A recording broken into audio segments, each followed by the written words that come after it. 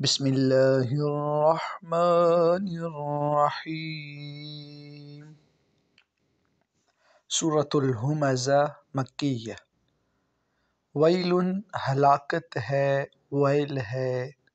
لکل ہر اس شخص کے لیے کل سب لی کے لیے لکل ہر شخص کے لیے. ہمزہ تانا دینے والے. لمزہ عیب جوئی کرنے والے۔ الذی، جس نے جمع جمع کیا مالن مال کو وعددہ اور گن گن کر رکھا۔ یحسب، وہ یہ گمان کرتا ہے ان مالہ، کہ اس کا مال اخلدہ ہمیشہ رہے گا۔ کلا، ہرگز نہیں۔ لیمبذن ضرور انہیں پھینکا جائے گا۔ فی الحطمہ، حطمہ کے اندر۔ وما ادراک، اور کیا آپ جانتے ہیں؟ مل الحطمہ؟ کہ حطمہ کیا ہے؟ نار اللہ الموقدہ۔ ایسی آگ جو اللہ نے بھڑکائی ہوئی ہے۔ یعنی اللہ کی بھڑکائی ہوئی آگ۔ التی جو تطلع چڑھ جائے گی یا پہنچ جائے گی الافئدہ دلوں پر۔ انہا بے شک علیہم ان پر مؤصدہ بند کر دی جائے گی۔ فی عمد ستونوں میں، فی، میں عمد ستونوں میں ممددہ بڑے بڑے ستونوں کے اندر، لمبے لمبے ستونوں کے اندر بند کر دی جائے گی۔ سورة الہمزہ مکی سورہ ہے، جس کا نمبر ہے ایک سو چار۔ اس سورہ کے اندر نو آیات ہیں اور یہ سورہ بنیادی طور پر مذمت اور عذاب جو مشرقین کے لیے ہے، اس کے لیے نازل ہوئی۔ اس کے اندر اللہ تعالیٰ نے تین بڑے گناہوں کا ذکر کیا۔ پہلا ہمزہ، پھر دوسرا لومزہ، اور تیسرا ہے مالن، جمع مالن وعددہ یہ تین بڑے جو معاشرتی گناہ ہیں ان کا تذکرہ اللہ تعالیٰ نے اس سورہ کے اندر کیا اور پھر ان کے عذاب کے بارے میں بھی مطلع کیا۔ سب سے پہلے دو لفظ جو ہم نے پہلے پڑھے ہمزہ اور لومزہ ان دو لفظوں کے مختلف معنی ہیں، لیکن میں ان کو ایک آپ کے سامنے بالکل آسان کر کے پیش کرتا ہوں۔ ہمزہ جو ہے وہ ہمازن سے نکلا ہے۔ جس کا معنی ہوتا ہے کسی کے پیٹھ پیچھے اس کی برائی کرنا۔ اور لومزہ لامزن سے نکلا ہے، جس کا معنی ہوتا ہے کسی کے سامنے اس کی برائی کرنا۔ اب پیچھے برائی کرنے میں دو چیزیں آ جاتی ہیں۔ یا تو آپ کسی کے پیٹھ پیچھے برائی کرتے ہیں تو وہ غیبت ہے، اور دوسرا چغل خوری ہے۔ یہ دو بہت بڑے گناہ ہیں۔ غیبت اور چغل خوری۔ اللہ نے فرمایا، ویلن لکلی۔ ہر اس شخص پر تباہی ہے، ویل ہے۔ ویل کا جو ہے وہ معنی تباہی بھی کیا جاتا ہے اور ویل جو ہے جہنم کے سب سے سخت اور سب سے گہرے کنویں کا نام بھی ویل ہے۔ یعنی کہ وہ شخص، ہر وہ شخص ویلن میں ہوگا، جو ہمزہ بھی کرتا ہے لومزہ بھی کرتا ہے۔ یعنی وہ کسی کے پیٹھ پیچھے برائی بھی کرتا ہے، اس کے سامنے اس کے عیبوں کو اس کی برائی کرتا ہے۔ یعنی کہ ہمزہ غیبت اور چغل خوری۔ حضور علیہ صلاۃ والسلام کا فرمان بھی ہے کہ کوئی ایسی بات جو کسی شخص میں موجود ہو اور وہ آپ اس کی غیر موجودگی میں کریں، جو اگر اس کے سامنے کی جائے تو اسے بری لگے، وہ غیبت کہلاتی ہے۔ صحابہ اکرام نے پوچھا، یا رسول اللہ، اگر وہ برائی اس میں موجود ہو؟ حضور نے فرمایا، اگر موجود ہو تو غیبت ہے، اگر نہ ہو تو وہ بہتان ہے۔ اور غیبت اتنا بڑا گناہ ہے کہ قرآن مجید میں اللہ رب العزت نے فرمایا، ایحب احدکم ان تأکل لحم اخیہ میتن کہ تم میں کوئی یہ پسند کرتا ہے کہ اپنے مرے ہوئے بھائی کا گوشت کھائے۔ تو غیبت جو ہے، اس کا سب سے چھوٹا گناہ یہ ہے کہ اپنے مرے ہوئے بھائی کا گوشت کھانا۔ تو دوسری جو چیز ہے، غیبت یہاں پہ اللہ تعالیٰ نے غیبت والے کے اوپر بھی وائل یعنی تباہی کا رکھا اور جو چغل خوری کرتا ہے۔ چغل خوری کیا ہے؟ کوئی ایسا عیب یا کوئی ایسی بات جو اس کی غیر موجودگی میں، ایک بندے کی غیر موجودگی میں دوسرے تک پہنچائی جائے، جس سے دلوں میں نفرت پیدا ہو۔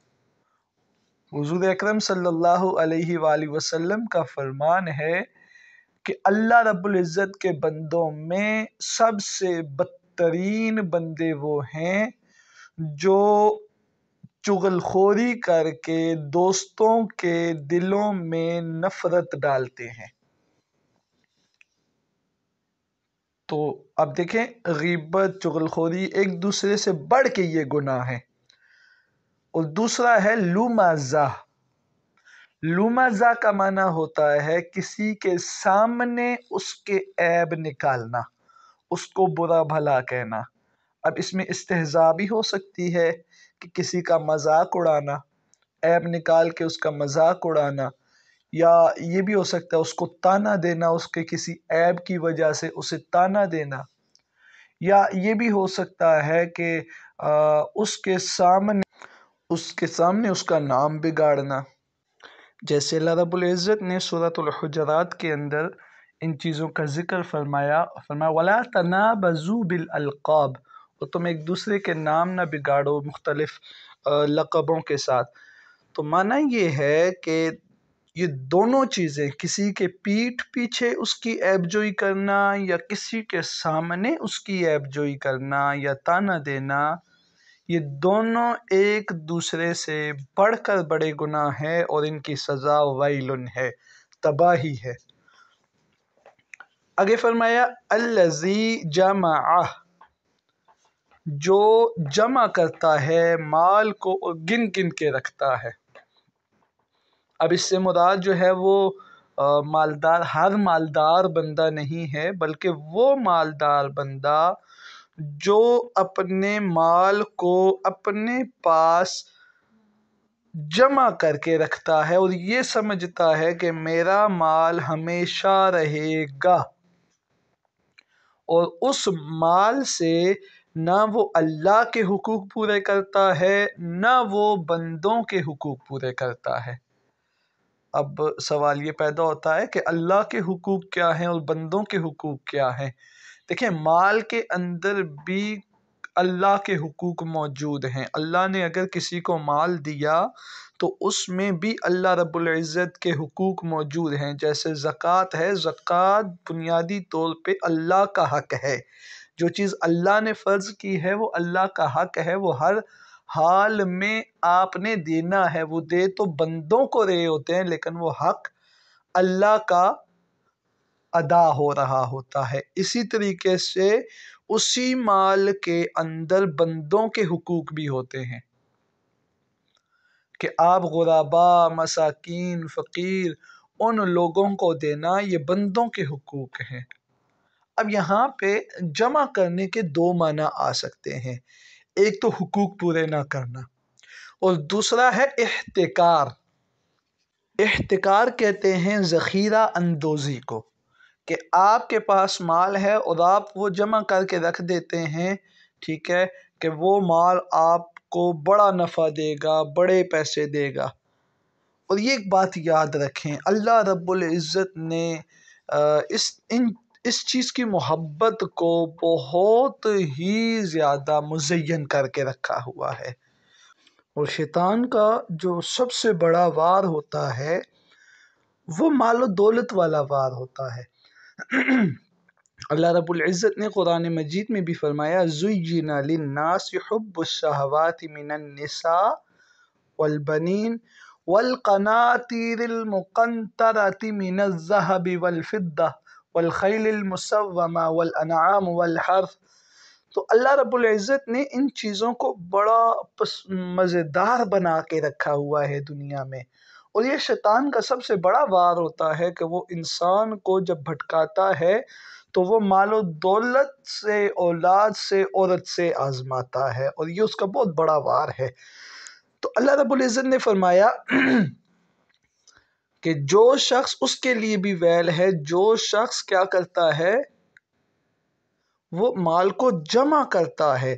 نہ وہ اللہ کے حقوق پورے کرتا ہے، نہ بندوں کے حقوق پورے کرتا ہے۔ اور یہ سمجھتا ہے کہ وہ مال اس کا ہمیشہ اسے فائدہ دے گا۔ وہ قرآن مجید میں متعدد بار اللہ رب العزت نے ارشاد فرمایا کہ یہ مال تمہیں قیامت کے دن کوئی فائدہ نہیں پہنچائے گا۔ تو یہ ہمیشہ رہنے والا مال نہیں ہے۔ تو اس میں صدقات بھی آ جاتے ہیں، خیرات بھی آ جاتی ہے، اس میں زکوٰۃ بھی آ جاتی ہے کہ آپ غربا مساکین کو کھلائیں، غریبوں کو، مسکینوں کو دیں، مال کو جمع کر کے نہ رکھیں۔ اور اس کے اندر احتکار یعنی ذخیرہ اندوزی بھی آ جاتی ہے کہ آپ، جیسے ہوتا یہ ہے کہ جب کسی چیز کی ویلیو زیادہ ہونے لگتی ہے تو اس چیز کو بڑے بڑے لوگ کیا کرتے ہیں؟ بڑے بڑے سرمایہ دار اس کو جمع کر کے رکھ لیتے ہیں تاکہ وہ مارکیٹ میں اس کی ویلیو اور زیادہ ہو جائے اور وہ ان کو نفع دے دے۔ جس کی بدولت جو غربا مساکین ہیں یا عام جو معاشرہ ہے، اس کو بہت بڑا نقصان اٹھانا پڑتا ہے۔ جیسے آٹا، چینی یا ان چیزوں کی ذخیرہ اندوزی ہوتی ہے۔ آگے فرمایا، کلا لیم بدن ہرگز نہیں۔ خبردار۔ وہ حتامہ کے اندر پھینک دیے جائیں گے۔ مال جمع کرنے والے، ایب جوئی کرنے والے سامنے بھی اور پیٹ پیچھے بھی۔ وہ حتامہ میں پھینک کے جائیں گے۔ اب دیکھیں، بعض مفسرین نے ویلن اور حتامہ کو دونوں کو ایک ہی شمار کیا ہے، لیکن بعض نے ان کو الگ الگ شمار کیا ہے۔ حتامہ کے اندر باقی اللہ رب العزت نے فرمایا کہ حتمہ کیا ہے؟ وما ادراکا کہ آپ کو علم ہے کہ حتمہ کیا ہے؟ نار اللہ الموقدہ، کہ یہ ایک ایسی آگ ہے جس کو اللہ رب العزت نے خود بھڑکایا ہے۔ یہ سخت بھڑکی ہوئی آگ ہے۔ ایک آگ جہنم کی ہے، وہ بھی بھڑکی ہوئی آگ ہے۔ لیکن ایک وہ حتمہ وہ آگ ہے جسے اللہ نے خود زیادہ بھڑکایا ہے۔ اور یہ کیا کرے گی؟ التی تطلع علی الافئدہ دیکھیں، آگ جب لگتی ہے نا، تو سب سے پہلے آگ جسم کو جلاتی ہے۔ عام آگ جب لگتی ہے، تو وہ جسم کو جلاتی ہے۔ لیکن حتامہ وہ آگ ہے جو جسم کے بجائے سب سے پہلے اندر دل کو جلائے گی، جو دلوں کے اوپر چڑھ جائے گی۔ اتنی سخت آگ ہے جو دلوں پہ چڑھا دی جائے گی۔ التی تطلع علی الافئدہ، افئدہ دلوں کو کہتے ہیں۔ انہا علیہم مؤصدہ، اور یہ کیا کہوگی جی؟ ان کے اوپر بند کر دی جائے گی۔ ان کو ہر طرف سے، چاروں طرف سے بند کر دیا جائے گا اس آگ کے اندر۔ اس آگ کے اندر چاروں طرف سے کن چیزوں سے بند کیا جائے گا؟ عمد ممددہ، لمبے لمبے ستونوں سے۔ اب انہیں بھاگنے کا کوئی راستہ نہیں ملے گا، وہ اس میں بند کر دیے جائیں گے۔ تو یہ ہم نے آج صورت الحمزہ کی شارٹ سی تفسیر، اگر اس کی تفسیر اور بھی کی جائے تو بہت لمبی تفسیر کی جا سکتی ہے، لیکن شارٹ سی سمجھ آنے والی تاکہ ساری چیزیں کور ہو جائیں۔ اب ہم دیکھتے ہیں کہ اس سورہ سے ہمیں سبق کیا ملتا ہے۔ ہم نے اس سے اپنے اسباق نکالنے ہیں، اپنی زندگی کو ہم اس سے کیسے بہتر بنا سکتے ہیں؟ ہم کیسے ویل سے بھی بچ سکتے ہیں اور حتما سے بھی بچ سکتے ہیں۔ پہلے ہم نے ہر اس چیز سے بچنا ہے جو کسی کی دل آزاری کا سبب بنے۔ چاہے آپ اس کے سامنے کر رہے ہیں، چاہے آپ اس کے پیٹھ کے پیچھے کر رہے ہیں۔ غیبت چغل خوری ان سے بچنا ہے۔ کیونکہ یہ ہم یہ کہتے ہیں کہ نہیں جی اس کے اندر یہ موجود ہے تو ہم بات کر رہے ہیں نا، جب ہمیں کوئی منع کرتا ہے۔ تو یاد رکھیں کہ اسی کو غیبت کہتے ہیں کہ اگر اس میں کوئی کمی یا عیب ہے تو آپ اس کو بیان کرتے ہیں، اس کی پیٹھ کے پیچھے یہی تو غیبت ہے۔ اور یہ آپ یہ سمجھ لیں کہ اللہ رب العزت نے اس انداز سے اسے بیان کیا ہے کہ غیبت سے زیادہ بڑا گناہ جو ہے وہ کسی کے سامنے اس کی عیب جوئی کرنے میں لگتا ہے اور کسی کے عیب جوئی کرنے سے زیادہ غیبت بڑا گناہ لگتا ہے۔ مطلب یہ ایک دوسرے سے بڑھ چڑھ کے بڑے بڑے گناہ ہیں۔ تو ہم نے سب سے پہلے غیبت سے بچنا ہے اور اگر کسی کو غیبت کرتا دیکھیں، اس کو بھی روکنا ہے۔ کیونکہ حضور اکرم صلی اللہ علیہ وآلہ وسلم کا فرمان ہے کہ ایک مومن اگر کسی شخص کی غیر موجودگی میں اس کے حق کی بات کرتا ہے، تو اللہ رب العزت اس کی غیر موجودگی میں اس کی حق کی بات کرتا ہے۔ اگر کوئی کسی کی غیر موجودگی میں اس کے عیبوں پہ پردہ ڈالتا ہے، تو اللہ رب العزت اس کے عیبوں پہ پردہ ڈالتے ہیں۔ تو ہم نے غیبت سے بچنا ہے۔ چغل خوری سے بچنا ہے۔ ہر اس بات سے بچنا ہے جس بات سے کسی بھی دو اشخاص کے دلوں میں نفرت پیدا ہو۔ بیٹے کی بات بات، باپ کو پہنچا دی، بہو کی بات ساس کو پہنچا دی، ساس کی بات بہو کو پہنچا دی۔ تو ان چیزوں سے بھی ہم نے بچنا ہے۔ پھر آگے لومازا ہم نے کسی کے سامنے کسی کی عیب جوئی سے بچنا ہے۔ کیونکہ جب ہم کسی کے سامنے کسی کے عیب کو ظاہر کر کے اس کا مذاق اڑاتے ہیں، تو یاد رکھیں کہ یہ ہمیں حتما اور ویلن کے اندر لے جانے والا کام ہے۔ ہمیں چاہیے کہ ہم اس کے عیبوں پر پردہ ڈالیں۔ اگر اس کے سامنے کوئی، اس کے سامنے کوئی عیب ہے بھی جو ہمیں نظر بھی آ رہا ہے، پھر بھی ہم اس کے عیبوں پہ پردہ ڈالیں۔ کیونکہ جب آپ اس کے سامنے اس کے کسی عیب کو ظاہر کریں گے تو اس سے اس کی عزت نفس مجروح ہوگی۔ اور یاد رکھیں، حضور اکرم صلی اللہ علیہ وسلم کا فرمان ہے۔ حضور نے خانہ کعبہ کو سامنے رکھ کے فرمایا کہ خانہ کعبہ، تو بڑا عزت والا، تکریم والا ہے، مگر تجھ سے زیادہ عزت ایک مومن کی ہے۔ تو اگر مومن کی عزت پہ حرف آئے گا آپ کی کسی عیب جوئی سے، کسی بات سے، تو یہ بہت بڑا گناہ ہے۔ اس لیے ہم نے اس سے بھی بچنا ہے۔ تیسری بات، ہم نے اپنے مال کو اپنے لیے نجات کا راستہ نہیں سمجھنا کہ مال ہمارا ہمارا نجات کا راستہ ہے۔ ایک بڑی بات ہمارے ہاں آتی ہے کہ آج کل جی سب کچھ پیسہ ہی ہے۔ یہ ایک بات غلط بات ہے، ٹھیک ہے؟ اللہ نے اگر مال و دولت دی ہے تو اس کو، اس سے اللہ اور اللہ کے بندوں کے حقوق کو پورا کریں۔ تاکہ ہم ان سارے عذابوں سے بچ سکے۔